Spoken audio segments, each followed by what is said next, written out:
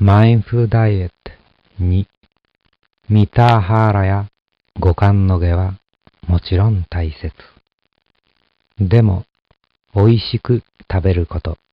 というよりも、食べて美味しいことが食事の基本。美味しく食べて美味しい人間になればこそ、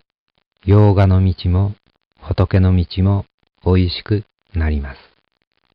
食べて美味しくないなんて無作法。洋画でも仏教でも、またキリスト教でも食事についての教えが昔からきちんとあるわけですね。それは私たちの心身をどのように保って、そうしてどのように使ったらよいかということのためを考えて、大切な教えとしてまとめてあるわけですから、それらを守るに越したことはありません。もちろん宗教とは関係なしに、昔から食事についてのいろいろな教え、知恵があって、昔ですと、親から声というふうに家庭において伝えられてきたわけですね。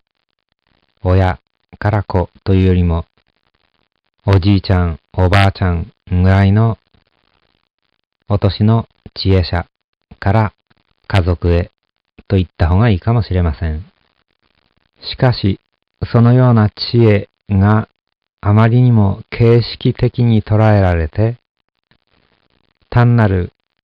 外形的な作法としてしか伝わらなくなりますと、中身が抜けてしまいますので、窮屈になってしまうのですね。そうして、そういう食事作法とか食事に関する知恵だけに従って、外形的に、形式的に食事をしていくと、当然、美味しいものではなくなりますので、どんな教え、知恵でもその中身の美味しいところをいただくということが大切ですね。本当に自然食ならば、それは美味しいに決まっているわけですね。でも美味しくない生食料理とか自然食料理とかが結構あるわけですから、それは内容、中身に